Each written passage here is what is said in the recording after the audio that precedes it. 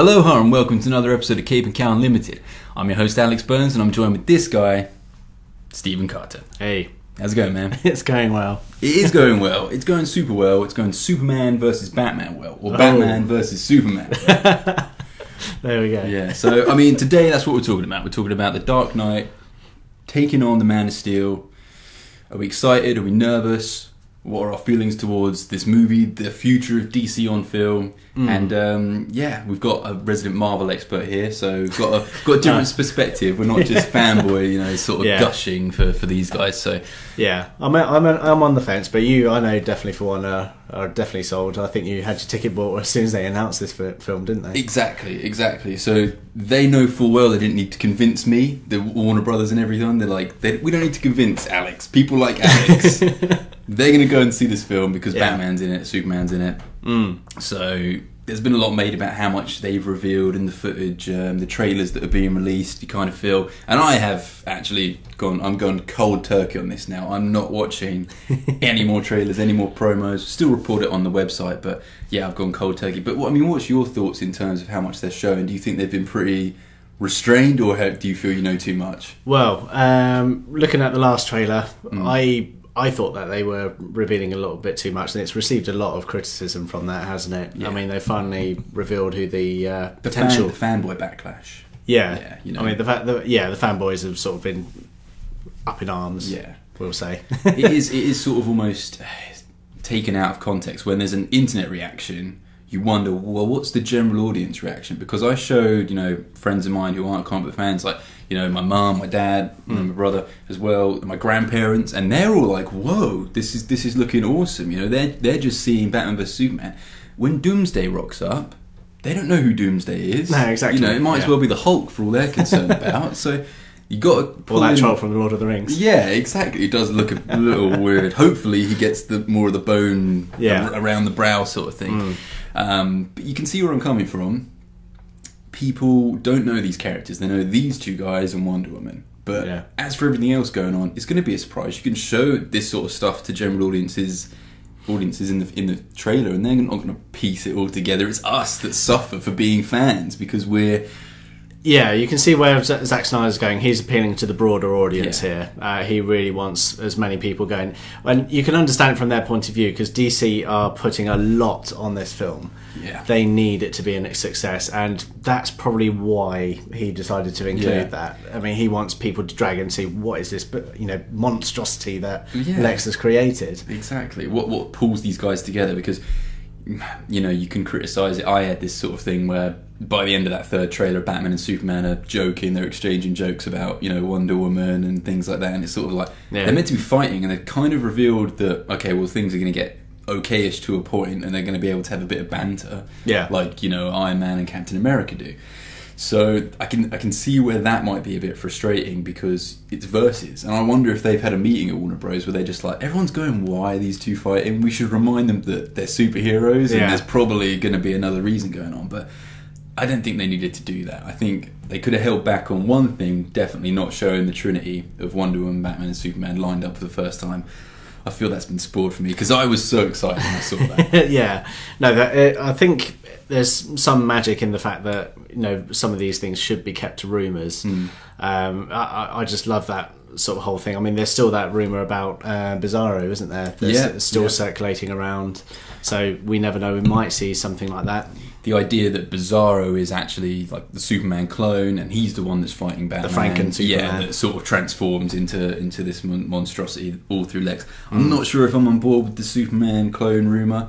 I know we had the nightmare sequence, which was which was shown as an advertisement for the third trailer. Mm-hmm. Yep. But I honestly believe that is a dream. I believe that's. Um, it would be interesting to see whose dream it is. Um, if it's Batman's, I kind of feel it's a bit weird, but Seeing himself tied up. yeah, but we touched upon the fact that Superman's got an army. This is totally out of character for the guy. You know, I think it's an end of world scenario that Wonder Woman might be having. Yes, I mean uh, that's the thing. Uh, whenever we see this army, it, it's only seen in that sort of um, style that you know Batman with his duster coat on Yeah. and things like that. We that's the only thing we've seen that in. We've never seen it in any other Yeah. context here. I So I it's got to be. it's I think it's Wonder Woman coming in. Yeah. What's her reason for entering the dispute between these two guys? She could be the what ends it all really. I think she's the one that brings these guys together. She's like, at the end of the day, dudes, you know, if you guys keep fighting, I've had this vision on Themyscira or whatever of, of an end of the world scenario Mm. where the two of you are just going to end up killing each other, and then you see parademons as well. That's what we missed in the trailer as well. Yeah. And everyone knows where parademons come from. Apokolips. Apokolips is World War planet, Darkseid. Mm. So there you go, man. In intense. Is that the end of world scenario that the invasion from Apokolips is coming? So time to buckle up. We need to become a Justice League instead of a instead of a you know bratty two bunch of dudes that are just fighting and leveling another city. What are they doing? yeah, no, that's true. No, I um, I just like the way uh, the way that they can potentially lead this, steer this direction. Um, there's a danger of it possibly going a little bit too close to the new Avengers film. yeah, but I, I I can see where you're going with that. Like everything sort of will build towards a huge confrontation slash alien invasion, but every kind of Justice League or Avengers comic book, whenever it's relaunched or anything like that, that just tends to be the standard plot. Do you know what I mean? Like I remember Grant Morrison's run on Justice League JLA when he brought in the White Martians and they hmm. introduced Ma- Martian Manhunter that way and stuff in the Justice League cartoon. So Yeah. it does kind of go down that role when you have these larger than life characters. You have to come up with a threat that can contain all of them, and it seems Alien Invasions are just sort of the go-to go-to territory. We're for it. familiar with that already. Yeah, exactly. And you know, it, it's interesting. Avengers versus Age of Ultron. Who did you feel was more of a threat, Ultron or the Chitauri? Yeah, well, it, that's the thing. They were kind of more or less on the same Mm. scale, weren't they? They Um, both had an army at their hands. Like you have to come up with something that mm, that occupies all the Avengers at once, all the, Yeah. all of the Justice League at once. So yeah, exactly. it'd be sweet. And obviously, yeah, there, there's a potential for the Justice League to expand a lot more as well. Mm. Uh, there's there potentially going to be more Justice League members than Avengers, is there? Well, I mean, so okay, this is the confirmed list we've got. We know Batman, Superman, Wonder Woman. Mhm. It's going to be solo movies for the Flash. Yep. um, a Green Lantern Corps movie, so not just focusing Oh, yeah, on yeah. Hal Jordan. They're going to bring in the whole Corps, so it'll be interesting to see that that's just around and existing. Aquaman, Cyborg. Mm. Pretty sure that's all of them. I'm not missing any. Yeah, so No, I think you're right. Aquaman, Jason Momoa, and uh, Ray Fisher for um, Cyborg, relatively unknown. Mhm. Those are the, the interesting projects that are in count, and it's all it's all being based off of this movie. So this is the starting point. This is why we're so excited because we don't know anything. All we had before this was Man of Steel Yeah. you know, and that was a Marmite movie. It didn't quite hit. I enjoyed it. You enjoyed it. I did, Yeah, yeah. but you look on Rotten Tomatoes. I think it's like a fifty percent. So people it just like split people down the middle. It's like whenever I see a fifty percent on Rotten Tomatoes, I'm just like, I don't know if that's a good movie or not. yeah, You mixed know? reviews. Yeah, exactly. Yeah. You know, whereas if it's a sixty, you think meh. you know, it's kind of strange. It's sort of like, Yeah. oh, check this out. It's one of those divisive films.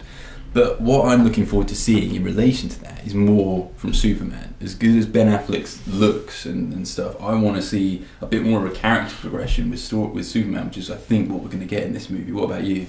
Well, yeah, hopefully. I mean, so we see him uh, get consulted by uh, his mum, uh, Yeah. his, his foster mum Martha, um, about the fact that yeah, he could live up to this this whole perception of what he's supposed to be, this whole, almost a deity sort of thing, Yeah. or it could be none of it. Mm. You know, it's his choice at the end of the day. So it's down, it's down to him. He's not reacting to uh, what he thinks he's supposed to do or anything like that. He, he's now been given the freedom of choice, Yeah. and that should be the interesting thing. Well, definitely. That's what I'm almost more excited about than seeing the two fight because I feel we're getting a Superman character arc that they kind of wanted to do a Man of the Steel, but it, Man of Man of the Steel, Man, of Steel, but it didn't quite work. I mean, Clark Kent Kal-El was way too reactive, sort of passive, just reacting to the stuff that was happening around him. This does bad. I'm going to punch it. Whereas he was kind of being told by his father, you know, the, the Jor-El projections, Yeah. nav, you know, thing that was coming up. um, he was kind of being told what he should do, and I didn't feel like he obviously he made his own decisions internally, but we didn't see enough of him demonstrating why he made those decisions in Yeah. the actual movie. And I feel we're going to get that in Batman vs Superman, and that contrasts perfectly with Batman, who's a dude that's been there, done it, got the Bat T-shirt. You know, he's just he's, he's laying down. We think he's responsible for everyone that's in Suicide Squad being in the Slammer. Yep. We think he's you know been around. There's a dead Robin in there somewhere as well. So Definitely. we don't know if he already knows some of the superheroes that are in in the in on Earth. We don't know if he's got any ties to Wonder Woman. I'd like to think Cozy. that he does. I'd like to think that he's already done his research. It, sound, it seems like it's like this kind of Batman that was pre New Fifty Two. So Yeah. he, he had a plan to take down every single Yeah. superhero sort of thing. exactly, and that's of course why he's able to stand up to, to Superman in theory. Yeah, so he's he's thought it out all before. Um, it, it's it's looking very um, intense. I mean, I think that's why the speculation started with Mm-hmm. this whole Batman versus Superman because we just come fresh off the uh, the Dark Knight trilogy. Yeah. Um, so Christopher Nolan's Batman was too realistic. He was just a guy in a suit, and he didn't really demonstrate a great amount of detective work. I'd like to see more of the detective come out in this series, or possibly the, the strategist True, true. uh, Mm. yeah. come out in this series. It, he's got to be close to the comics anyway, otherwise it's just going to be laughable. Superman could just literally just throw a punch. Yeah, the Christian Bale, they were going for something different. And that's Yeah. almost why I'm kind of like, I'm okay with Batman not being in this movie as much because I feel like we've been spoiled with Batman. Hmm. It's not an oversaturation point. Some people are like sick. They think just give another hero another chance. I'm in that mindset where, okay, we've had a, in my eyes, like a pretty much perfect trilogy of Batman movies with the Christopher Nolan franchise. Right. We've also got them great Burton movies to go back to every now and then. Hmm. Now we've got a Batman who can be mysterious, vague, almost like Yeah. the Joker was in The Dark Knight. He can pop in and you know not be in the movie as much, but when he does, sort of steal the show, and that's kind Yeah. of kind of what Batman does in the comics. You know, it's just like This is what I'm looking forward to. That, uh, th- this, the, I'm hoping that the way they're going to introduce Batman is all this mythology. I mean, Yeah. you saw it in the trailers, the first trailers, and uh, everything like that. Is this shadowy figure who just attacks from the shadows? Yeah. Um, he's branding, or allegedly branding his Mm. victims. Um, and things like that that we saw from the uh, first trailer. Yeah. It, it, it's the mythology of the Batman that comes first before you see the character, and that's going to make him a lot more intimidating. yeah, especially because freaking Superman's investigating him as Clark Kent. Yeah. that's the whole deal. He's like, no one cares about Clark Kent taking on the Batman. I think that's what Perry White says Mm. Yeah. in the trailer. Yeah, they do, man. Because I, this dude, man, he's going to find out everything about Batman. He's going to unearth the legend. So we'll be seeing Batman through an alien's eyes, which is something really unique. Normally, it's through, you know, um, with the Burton movies, we saw it through Kim Basinger, and that was a nice romantic aspect to the character. Yeah. Now we're going to get into the why are you doing this Hmm. reason. You know, you're like 50 years, 40 years old, or whatever. you know, I understand your parents were lost, but you're going too far. I've got this covered. Yeah. You know, I, I'm Superman. You know, I, I can handle things. Yeah. It's just like we're going to see Batman's dilemma there, and also Batman's got his own score to settle. The destruction in Metropolis into Gotham. We know they're Yeah. neighboring cities, so Yeah, they are. That Zod fight. Now that you know it went into Gotham as well, that's really cool, man. Like Hmm. it's just there's so much to get excited about, and I think what we don't want to lose track of when we're talking about the negatives and our concerns Yeah. is just how awesome this has the potential there for how awesome this can be. Yeah. I just can't wait for it. Um, Jesse Eisenberg as Lex Luthor. We'll just touch on that quickly. How? What are you thinking about that? It's difficult. Uh, uh, he's some sometimes in some points he's uh, seems to be a very sort of decent Lex. Um, it- especially in the second trailer, he seemed sort of very threatening and menacing. Mm. Uh, the way he was coming out with the, the oldest lion in America Senator Yeah, and stuff. yeah, yeah.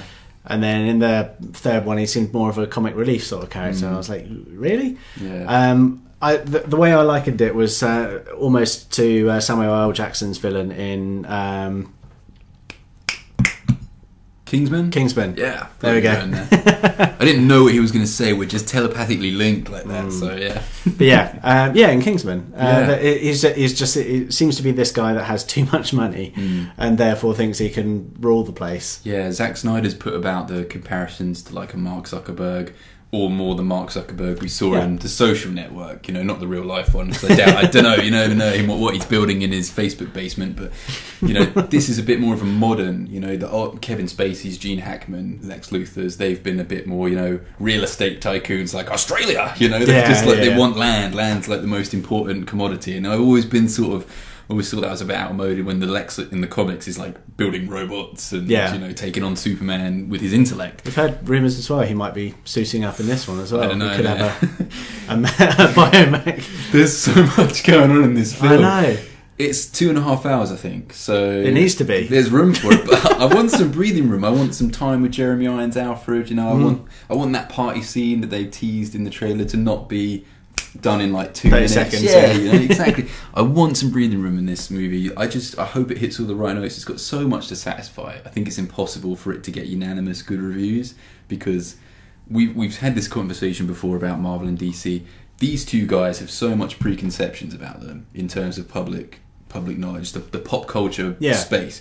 I think part Not the to mention the cult following as yeah, well. I think part of the problem was for Superman. People don't really know Superman. There's so many different sort of versions of him floating around, and he's not been sort of thrust on you in the media so much that it's difficult to get to know him. And that's that's a criticism of his character a lot of the times. It's, he's unrelatable. Hmm. So I think when Man of Steel came along and tried to sort of put a spin on it, where okay, he's an outsider, and you know maybe he wasn't deciding to be Superman straight away. He just decided to go fish.